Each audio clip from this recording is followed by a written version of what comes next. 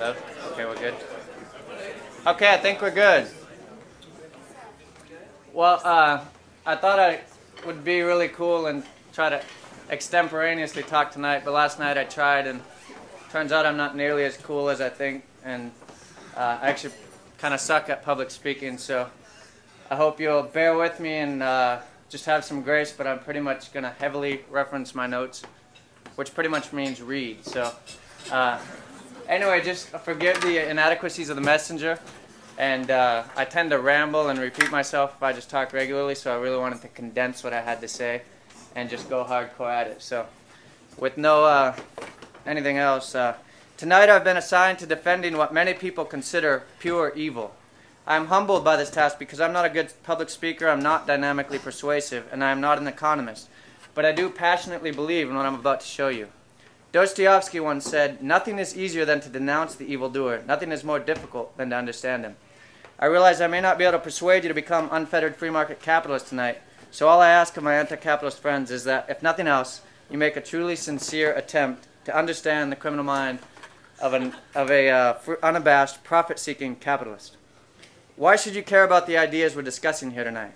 Socrates said, All wars are about money, and a mere glimpse at history will quickly reveal the millions of corpses piled up as testimony to the consequence of the ideas we're debating here tonight. A quote from uh, Capitalism, the Unknown Ideal, says No political economic system in history has ever proved its value so eloquently or has benefited mankind so greatly as capitalism, and none has ever been attacked so savagely, viciously, and blindly. The flood of misinformation, misrepresentation, distortion, and outright falsehood about capitalism is such that the young people of today have no idea and virtually no way of discovering any idea of its actual nature.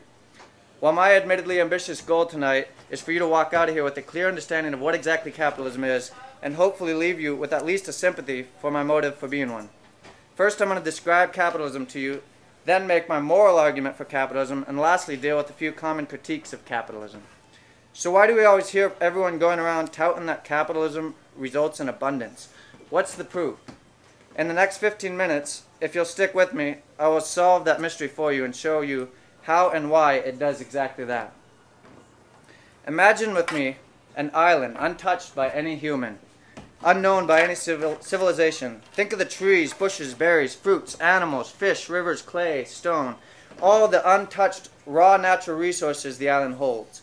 Now imagine a small group of humans shipwrecked on the island, suddenly faced with the daunting task of survival, providing for themselves food, shelter, warmth, and protection we are immediately presented with what is called the economic problem scarcity. Now, clearly, this scarcity isn't necessarily one of available natural resources per se. The streams are teeming with fish, the forests with berries, and fertile lands are ready for cultivation. The scarcity is in what we call consumer goods. See, a fish swimming in the river does not necess necessarily provide the poor, hum poor human's needs for survival, because in the river it is not ready for consumption. It first requires an input of productive labor to catch it, dress it, and cook it, at which point it becomes a consumer good, ready for consumption. So this problem of scarcity of consumer goods relative to the needs of the islanders is largely what the whole economic science seeks to solve. If the problem of scarcity didn't exist, the islanders wouldn't even need an economy. They'd have woke up to find plates of steaming fish ready to eat in the sand. The question we seek to answer is, what kind of world do we want? How do we arrange this new island society to best provide their needs? And since I am here tonight to argue that capitalism is the economic system that will best serve this new society, I will start by painting you a picture of what a free market capitalist island might look like. So two of these shipwrecked guys, Crusoe and Henry, set out to pick berries for much needed sustenance, with their survival dependent on it. It turns out Crusoe has long and agile fingers, and his natural berry picking talents result in an incredible efficient bucketful every hour, while Henry has clumsy hands and is terribly inefficient, picking only one bucket every 12 hours. So here's their berry picking production at the end of a 12 hour day. The next day, they decide that the berries may need, uh, need to be supplemented with some protein, and so decide to try their hand at hunting. It turns out with hunting, the roles were switched. Henry was a natural born hunter and was able to capture rabbits at the efficient rate of one per hour, while Crusoe was lucky to get one rabbit in a full 12 uh, hour day. Here's their total 12 hour production of rabbits in a day. So Crusoe and Henry decide that for subsistence survival, they would need a daily ration of one rabbit and one bucket of berries each. So from then on, Crusoe picks berries for one hour and hunts for 12 to provide his subsistence needs, while Henry hunts for one hour and picks berries for 12. Here is their total production at the end of their 13 hour workday. Could anyone here think of maybe a better way to go about this? I mean, th this would kind of suck working 13 hours a day for subsistence. Well, enter the magic of the division of labor, specialization, and mutually beneficial trade. Crusoe and Henry brainstorm and come up with a deal.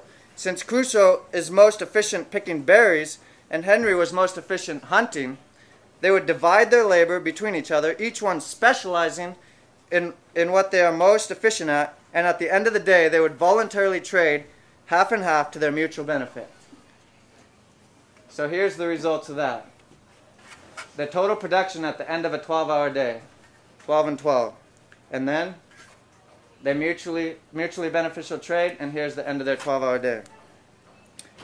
A dramatic increase in efficiency, changing the problem from scarcity to superabundance. This may just be a tad more economical.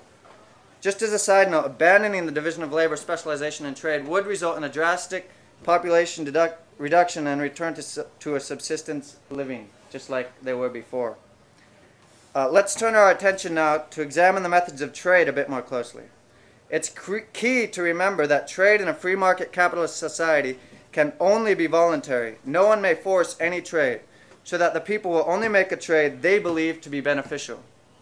This is what is meant by the phrase free in the term free market. You're free to trade or free not to trade. Okay, so the trade on our capitalist island at this point is defined as a direct barter economy. Let's assume now that Lisa, the vegetable gardener, and Huck, who likes fishing, enter the scene.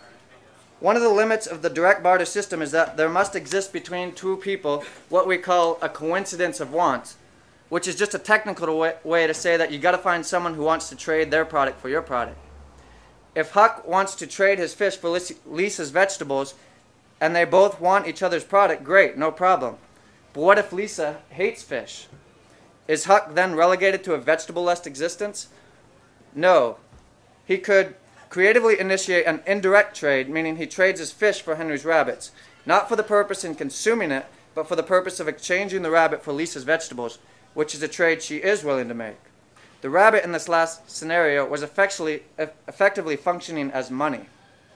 The definition of money simply being a unit of exchange. If a trend developed in which nearly everyone at all times would accept rabbits in trade, people would begin to habitually exchange the goods they produce for rabbits and then go to market since everyone would accept the rabbits for their product. At that point, the rabbit would simply be functioning as the currency. Without going further into the history of money, suffice it to say that we were fortunate enough that gold and silver, not rabbits, emerged as this uh, unit of exchange, what we call money.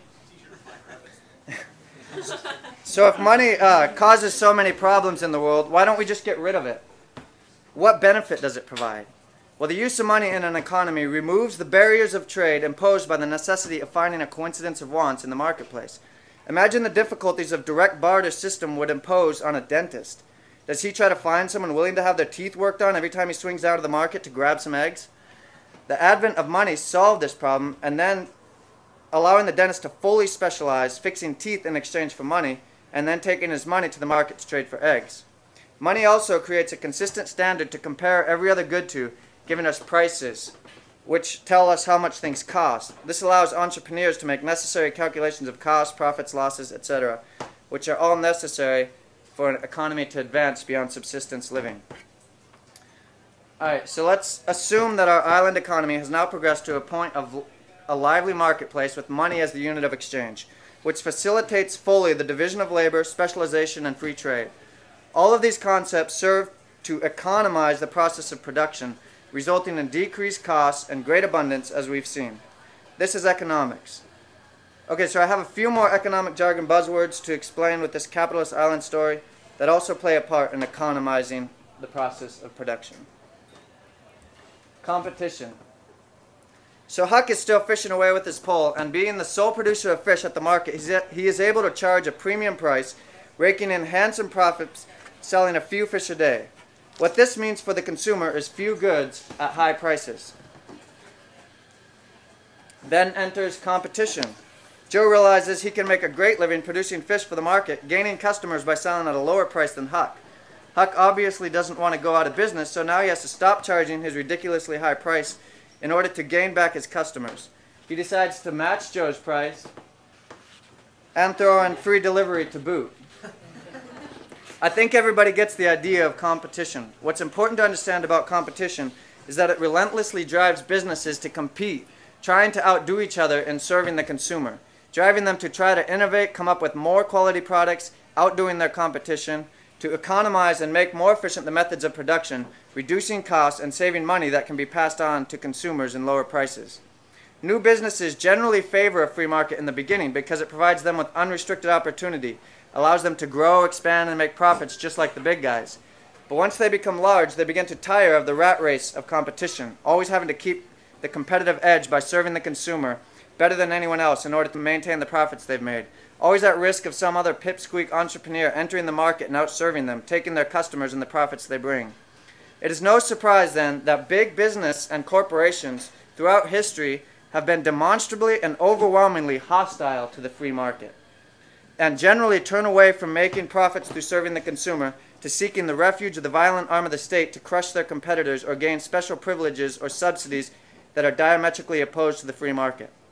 One final note about competition is that it also tends to result in higher salaries and better working conditions for the laborers. Just like businesses must compete for customers, they must also compete for a limited supply of laborers. If Huck and Joe uh, decided, they both, both decided that they wanted to expand and offer, a, offer to hire a full-time fisherman, all else being equal, the labor force will tend to offer its services to whoever is willing to pay more and provide a better work environment. The businesses who pay less or are just who are, who are just terrible to work for will lose the advantages and the gains it could have accrued from the labor force they lost to their competitors. All right, now let's talk about capital and investment.